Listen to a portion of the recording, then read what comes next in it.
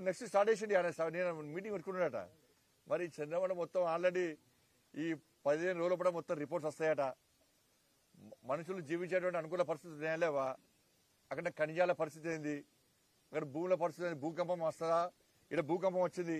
ఆ చంద్రమండలం చంద్రకంపం వస్తుందా లేదా? అని చెప్పి వాళ్ళు చేస్తున్నారట. మరి మనం అలర్ట్ అయి ఉండాలి. ఈ దంద ఆడికి షిఫ్ట్ చేద్దాం. ఎందుకంటే టీఆర్ఎస్ పార్టీ బీఆర్ఎస్ అయింది దంద భూమండలం నుంచి చంద్రమండలం పోదాం ఇక. అని చెప్పి పక్కా ప్లాన్ ఇది. ఆయన ధ్యాస అంతా ఎప్పుడు ఎక్కడ ఏ అవకాశం వచ్చినా పొట్టు పొట్టు దందయాలి పైసలు సంపాదించాలి. ఇంకా అవకాశం వస్తే చంద్రబాబు కూడా మూడు ఎకరాలు జాగిస్తా అంటాడు ఆయన.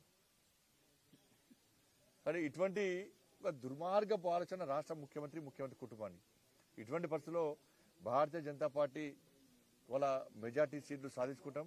తెలంగాణ రాష్ట్రంలో ఎప్పుడు ఎన్నికల కూడా భారతీయ జనతా పార్టీ అధికారం రావడం ఖాయం.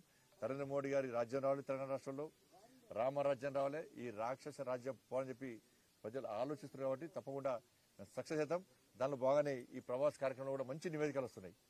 వాళ్ళందరూ రిపోర్ట్స్ అవే చెప్తున్నారు. ప్రజలు పూర్తిగా బీజేపీకి అనుకూలంగా ఉన్నారు. మోడీ గారి నాయకత్వానికి అనుకూలంగా ఉన్నారు. మోడీ గారి యొక్క సంక్షేమ పథకాలు సంక్షేమ పథకాలు వస్తున్నాయి ఇవాళ.